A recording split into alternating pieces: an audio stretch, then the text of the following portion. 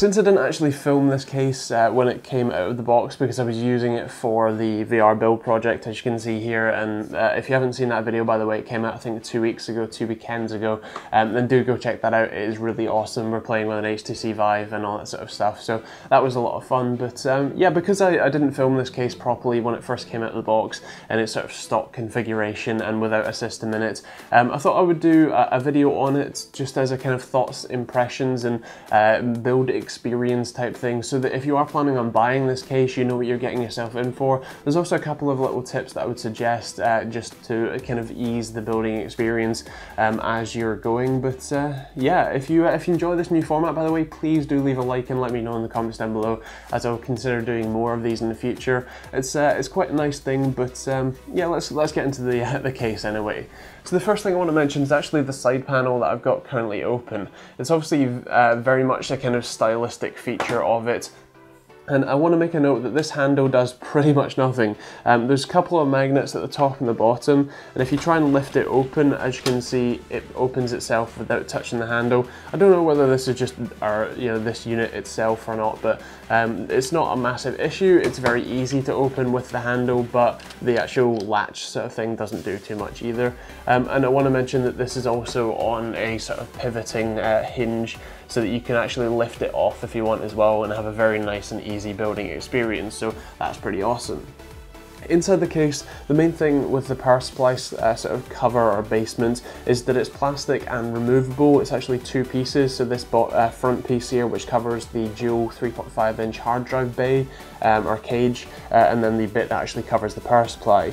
There's two screws to remove these, and if you have any uh, cables that you want to route through, you actually have to route them through both holes, uh, the hole in this and then the hole in this one. So just do bear that in mind if you're planning on uh, routing your uh, you know GPU cables through that.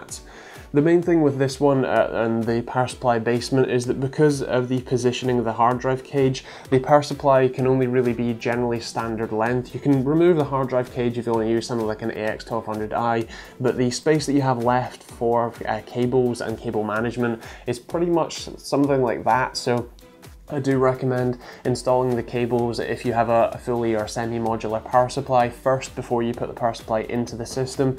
And uh, there, as I said, there isn't much space, so if you're not using three and a half inch hard drives, I definitely recommend removing that cage straight away so that you have plenty of room. And if you are planning on using an AX1200i or something, you will have to remove the case, uh, the uh, cage, uh, so that you can actually fit the power supply in.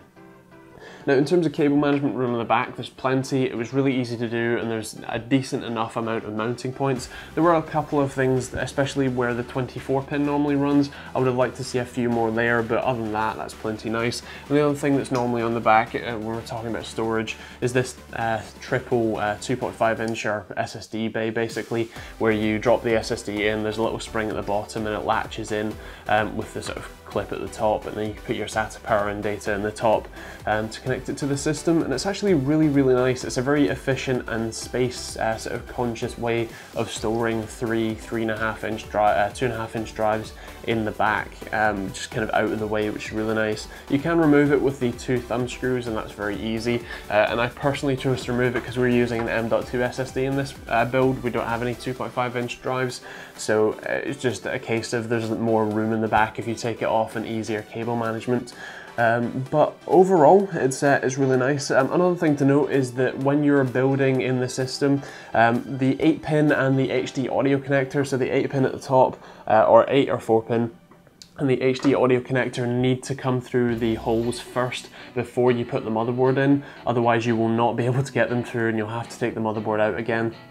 The hole for the, uh, the holes for the 8 pin connector at the top are just about technically big enough and you can probably wiggle it through if you really try, but the HD audio connector is just impossible. You will have to take the motherboard out again. Um, you literally cannot get it through without taking it out, so uh, make sure you pull that one through first. There is also another little quirk with the power cable or the, the cables for the power button and uh, that sort of stuff is that there isn't actually, because the, the motherboard sits basically on this uh, power supply sort of basement here, um, there isn't really a hole that suits the power connectors that well. It's a little bit strange, but generally I've got them routed through the bottom here where the GPU power cables are sort of meant to come up.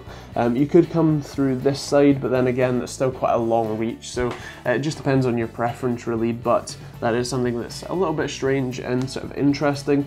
Um, the other thing is that because this is an ATX chassis, so it only fits ATX motherboards, um, there's quite a lot of room between the grommets for the power supply cables and the motherboard. I don't know whether this is just to make these sort of bends easier and that sort of thing, which it definitely does well, um, but there is quite a lot of room there so that you will see a lot of cables, so if you're planning on going with some extensions or something like that, then this might be quite nice.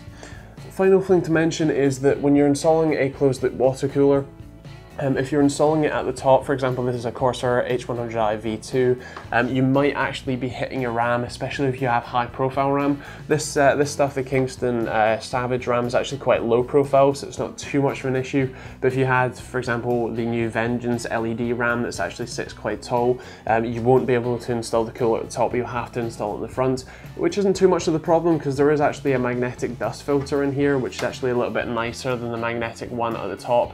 And at the top isn't really that fine, it's more for aesthetics than anything else, whereas the one on the front is actually quite useful. So um, I personally recommend putting it on the front actually, but um, you, you know if you do plan on putting it on the top, just do bear that in mind as well. So I guess in terms of sort of build considerations and thoughts, that's generally it. I really do like the styling. I like that, that it's kind of a black obelisk. There's no five and a quarter inch base, which if you're planning on using this for a VR system, means that you'll have to plug in all the connections at the back only, that's it. Um, which isn't too much of an issue, especially because a lot of people aren't going to be buying this for a VR PC. Um, but at the same time, if you are, then just kind of note that down. Other than that, uh, it is really nice. I do like the look of it and especially like the look of the window as well, uh, despite the latch not working that well, but uh, ah well, it's alright. So um, yeah, I guess that's kind of it really. If you enjoyed the video and the sort of new style, feel free to uh, let me know in the comments down below and hit the like button and subscribe. We've got plenty of new videos coming out, especially on Saturdays at the moment. There's just a lot of sort of backlog of bits and pieces. I think next weekend is actually going to be the HTC Vive thoughts and impressions kind of review video so do stick around for that one.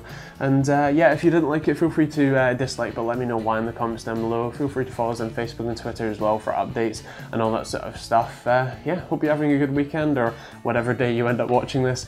And uh, yeah, we'll see you on the next video.